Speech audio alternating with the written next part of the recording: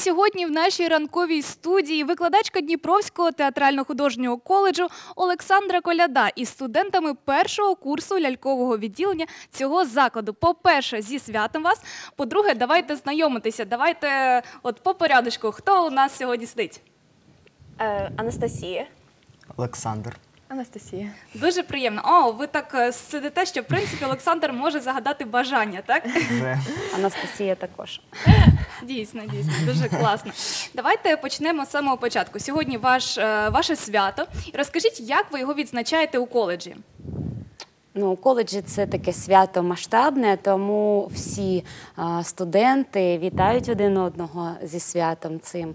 І не тільки у коледжі, але телефонують, лунають дзвінки з різних куточків. Всі лялькарі це свято відзначають так гучно дуже. А чи багато взагалі е, хто бажає стати актором ляльок? На жаль, ні. так багато людей, тому що вони не знають цю специфіку професії. І, на жаль, е, у нас не так поширений театр ляльок зараз в Україні, але з цим ті, хто в темі, не шкодують. не шкодує. А кого все-таки більше хлопців чи дівчат? Чи тут немає Дівчат. таких? Ну, Більше на нашому дівчат. курсі дівчат, але театрі У ляльок всі. зараз е, ну, більше дівчат. Чому особисто ви вирішили опанувати цю професію? Що вплинуло на ваш вибір? Можливо, десь побачили, можливо, в дитинстві якось так сходили, захопилися, сподобалося, і на все життя так залишилося, що треба стати лялькарем, щось таке романтичне. От звучить дуже романтично, мені здається. Так, дійсно, звучить дуже романтично, але Насправді так не є. ні. Е, ну, по-перше, це естетична сторона питання. Тобто я взагалі по життю такий естет, мене дуже приваблює красиві декорації, взагалі, красиві ляльки. Е, друге, це театр ляльок вчить нас мислити непримітивно. Це, мабуть, основне. Так. Ну, якщо ти хочеш стати актором, е, набагато легше опанувати професію ля- лялькаря. Тобто в опануванні це буде складніше, але потім на виході ти зможеш е, і те, і інше. Е, Тобто і працювати в живому плані, і працювати з лялькою. І це надзвичайно складно передати свої емоції через предмет, от, оживити його, одухотворити. Але якщо ти маєш таку майстерність, то потім ти зі своїми емоціями справляєшся набагато легше. Тобто для вас це такий як крок, так як е, щабель у кар'єрі, так? А для вас, Анастасія? Ну, це особливо цікаво і важливо для майбутніх режисерів, але я не буду режисером. Ось, ну це просто цікаво і так дивовижно. А чи є у вас якась така кінцева мета, якась мрія, до якої ви йдете, і саме тому ви пішли на цю спеціальність? Важко Звичайно, сказати. Я думаю, у всіх є така. Я не знаю, чи кінцева вона, але, але вона є у всіх, звичайно. Ми особливо, ну і раніше, звичайно, але е, от вступивши до коледжу, дивимось багато вистав і наших студентів, і театрів, що приїжджають, багато фестивалів. І ну, не можна сказати, що усі вистави вражають, прям ах. Але ко- коли ти Ти... Проаналізувати можна. Але ти, коли виходиш після отакої вистави, що не можеш навіть поділитися враженнями з, е, зі своїми друзями, бо сидиш такий просто вау. Е, От хочеться дарувати, хочеться дарувати глядачам такі ж емоції. От, власне, я е, планую стати режисером, режисером і думаю, що мені вдасться так само діяти на глядача. Я дуже на це сподіваюся. Створювати магію і розвивати, звичайно, театр, театральне мистецтво, кіномистецтво в нашій державі і ну, дарувати людям натхнення, і щоб не лише це було нашою ціллю, а щоб за допомогою наших якихось дій е, в них з'являли- з'являлися інші цілі, і вони вірили, вірили в дива. Як кажуть, в театрі ляльок можливо все. Олександро, розкажіть, е, які предмети вивчають майбутні лялькарі, от саме на першому курсі? І чи змінюються вони протягом навчання? Тобто додається щось нове, чи все ж таки існують предмети, які от ви- вивчаються постійно? Те, що стосовно цієї професії, оскільки в нас діти після 9 класу вони вивчають е, шкільну програму зазвичай, але е, є предмети, які е, допомагають бути справжніми акторами. Це і сценічна пластика, і танець, і вокал, і сценічна мова, майстерність актора живого плану, майстерність актора з лялькою. Все сказала. А з чого взагалі все, але починається знайомство з цією професією? Тобто, що потрібно знати на самому початку? На самому початку мені здається, що повинен е, студент і взагалі е, актор мати дуже гарну фантазію. І вже опираючись на свою фантазію, ми можемо оживити предмет, ми можемо придумати на що схожий той же будильник, наприклад. А, або як із хустинки зробити кораблика, а, або як е, з шарфа зробити лебедя і, і так далі. Ну, Лялькарю це... не завжди потрібна лялька. І зрозуміти, як руки працюють. так, Навіть можна взяти шапку і шапкою погратися. Хто один, хто другий. Це песик, це котик. Це шапка, Так, це Спочатку шапка. це пізнання себе і своєї фантазії, своїх можливостей свого тіла, щоб потім це перенести вже на щось більше.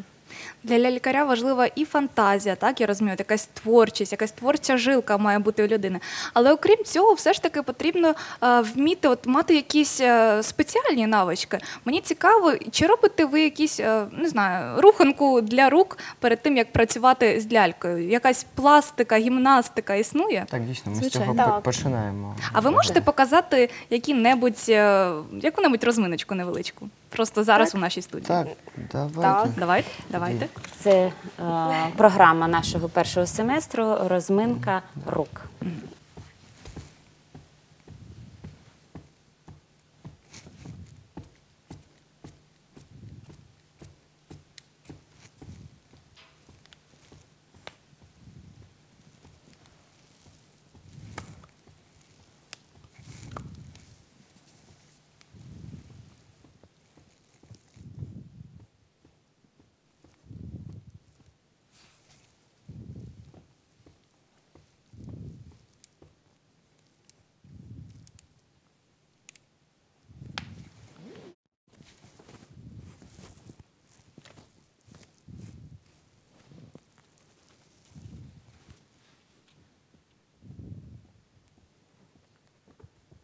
Можна так прокоментувати. Це а, е, ряд рухів, які потім студенти скомпонують під музику ось такою композицією. Навіть без музики це виглядає Мені здається, досить це вже цікаво. як окрема вистава. Так, в принципі, ми вже побачили ваш виступ. Я думаю, хтось із глядачів, можливо, теж повторив ці рухи і теж зробив якусь невеличку розминку. Слухай, можна включити отаке до нашої руханки ранкової, Так, до щоб речі. телеглядачі також і приєдналися. фантазію нас. розвивати, і також розминатися якось. Дійсно. А інша така от е, сторона вашої професії, окрім рук, вам також потрібно використовувати голос. Наприклад, ця вистава у нас була без голосу, так без акомпанементу. Але ж існують вистави, коли необхіден голос. Тобто ляльки, ви маєте їх озвучувати. Як ви працюєте з голосом? Ну, для цього у нас є сценічна мова. Ми працюємо над е, голосовою імітацією, тобто відтворюємо звуки тварин, природи. Ви так умієте, можете показати. Можете зараз продемонструвати, чи це я вже забагато хочу? Можна. Кого вам найбільше подобається озвучувати, того спробуйте. Спробуйте. Давайте з Ну, оскільки це перший курс, у них тільки проходять групові завдання, початок. та- е, заняття групові у голос в дії. Це м, всякі різні такі. Вправи на підлозі, в стрибках, е, в в ходьбі.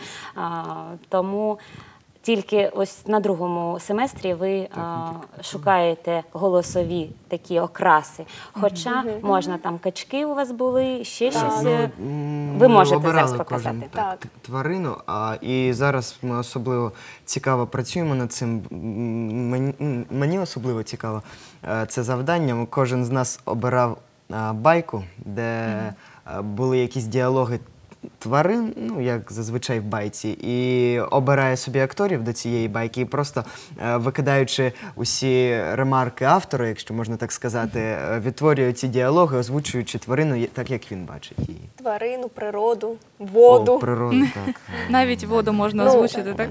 У нас є цілі композиції, де ми е, якби створюємо голосові картини, нічого не зображуємо, але по тому, як глядач чує, він для себе ну, знаєш що там відбувається. А що вам більше подобається? Робота з голосом чи з руками? Чи ну що? Чи все в сукупності? Так. Скоріше В все, в сукупності. сукупності, звичайно. Окремо це розділити не окремо можна? це- Ні, ну можна, звичайно. Можна, але Навіщо, якщо можна?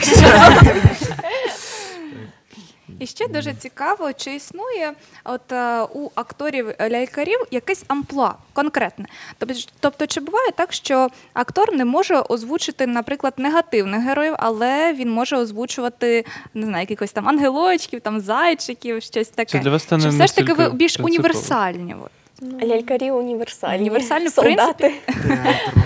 Так. Так, а, ні, ну звичайно, є напевно якісь обмеженості у деяких. Ну, я Але не це знаю. справа вже того, як е, актор буде працювати з режисером. Наскільки людина талановита і наскільки вона може обх- захопити себе, зацікавити себе і зуміти показати, наскільки він може розкритися від одного образу героя до Я не іншого. думаю, що є якісь обмеження. На жаль, зараз існує такий стереотип, що лялькові, лялькові вистави це м, якісь дитячі казки з отими п- пискунчиками такими. Якісь.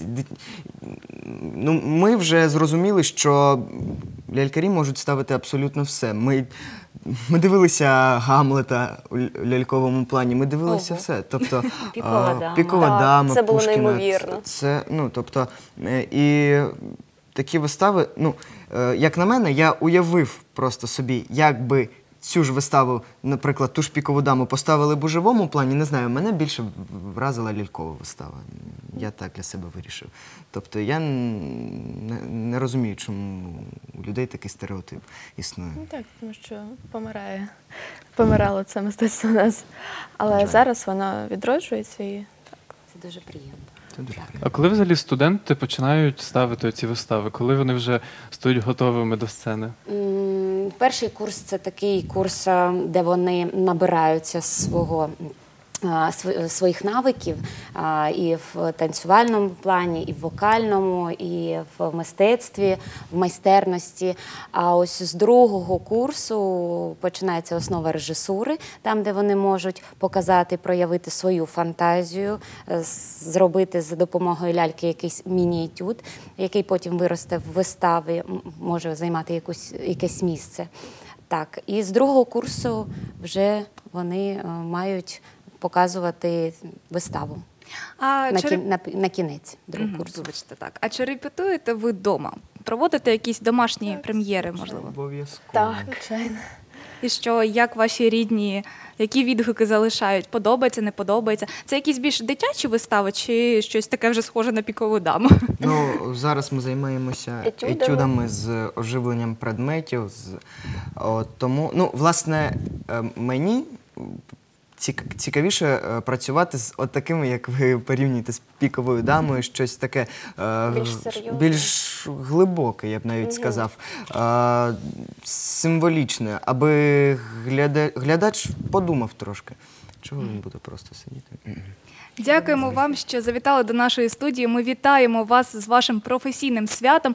Нагадаємо, що із нами сьогодні були викладачка Дніпровського театрально-художнього коледжу Олександра Коляда і студентами першого курсу Анастасія Гречковська, Анастасія Щетиніна та Олександр Лахтюк. З нами були сьогодні. Що ж, дякую вам, е, дякуємо вам і е, бажаємо вам дуже багато різних творчих успіхів. Приходьте до нас іще, діліться ними.